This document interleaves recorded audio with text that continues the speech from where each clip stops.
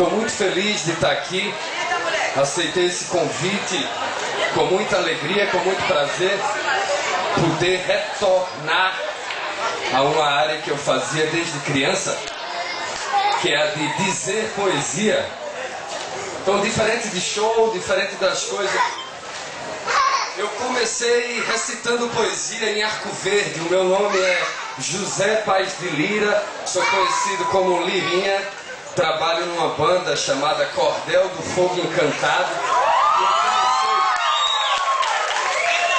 Eu comecei 12 anos de idade recitando poesia.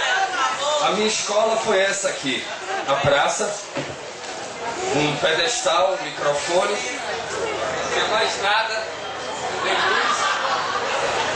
Eu mandava as poesias que eu decorava.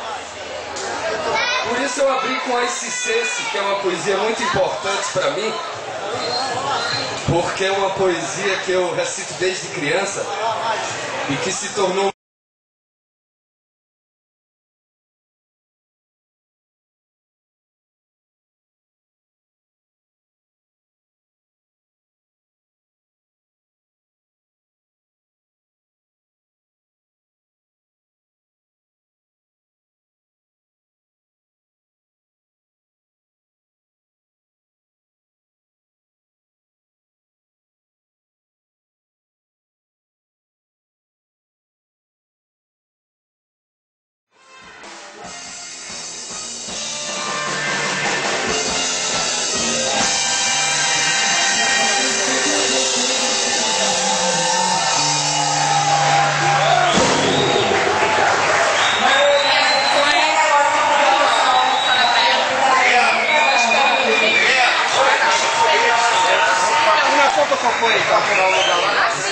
mais desenvolvido, mas espero um momento futuro.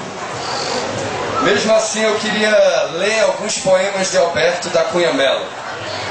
Ele chegou na minha vida através de um poema que o Cordel gravou, Canto dos Emigrantes, que diz assim: Com seus pássaros, ó a lembrança de seus pássaros, com seus filhos, ou a lembrança de seus filhos, com seu povo, ou a lembrança de seu povo.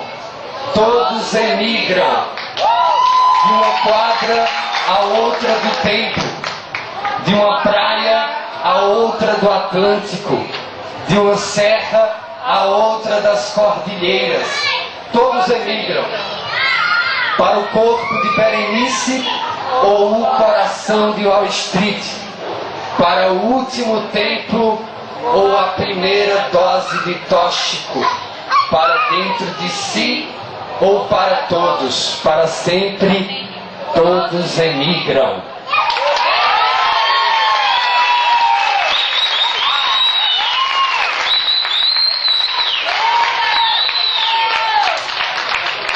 Então, Alberto da Cunha Melo é de Jaboatão dos Guararapes, nasceu em 1942, tem 12 livros publicados, participou de 32 antologias, é um poeta desconhecido de uma turma ainda, não é? Mas isso pouco me importa. Pouco me importa. A poesia de Alberto da Cunha Melo, pouco importa se é conhecida ou não. Ela não perde. Diferente da SCC. Ele um dia escreveu: Onde colocaremos uma flor, mesmo hipócrita, para compensar tanta infâmia e esquecimento? É por isso que eu digo que pouco importa. Ele disse, eu não sei em qual poema, mas Alberto diz algo parecido assim: a fama é uma coroa de louros radioativa. E eu queria muito recitar, é, poder ler uns poemas de Alberto, rapidamente.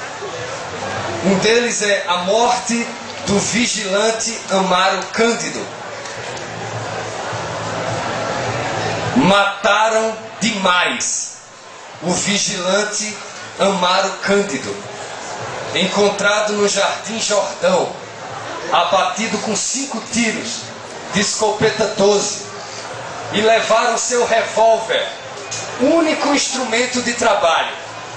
Mas não foi só isso que chamou a atenção das autoridades locais, e sim o fato de Amaro ter residência ignorada, patrão ignorado, vida ignorada, e para um ser tão ignorado, Amaro, segundo as autoridades, morreu simplesmente demais.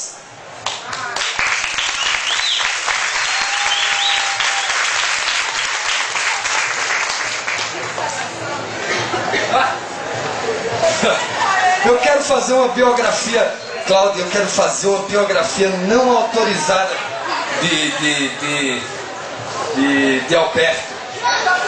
Uma biografia não autorizada, Cláudia. Clau, quem é Clau? Pergunta o burríssimo PhD em estética. E ninguém pode salvar seus pobres alunos, né, Clau?